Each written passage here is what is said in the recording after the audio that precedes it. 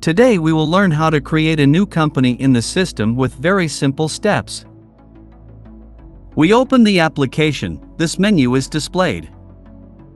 We select the language, we have three major interfaces, Arabic, English and French, I will select English interface. We have here a test company installed by default into the system, select it and press OK.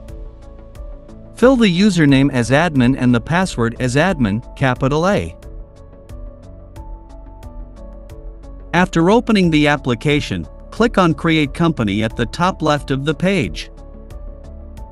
A pop-up window is shown, select Use Chart of Account directly then click Next. We can name the database here in the SQL, we can keep the name as is or change it. So database name.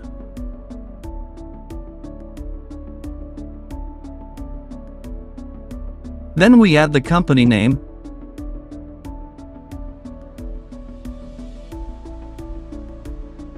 address, phone,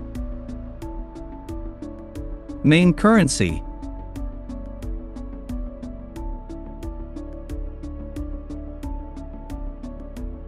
We choose the fiscal year and month.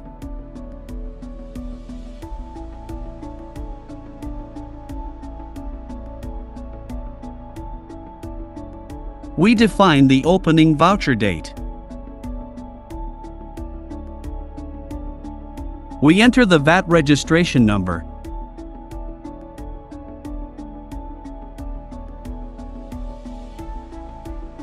And we check the VAT checkbox if the company is applied to VAT. We enter the VAT prefix number in the chart, VAT currency and start date with the default percentage in the local country, then click Finish the system will automatically open a new company. We go to Select Company from the top menu.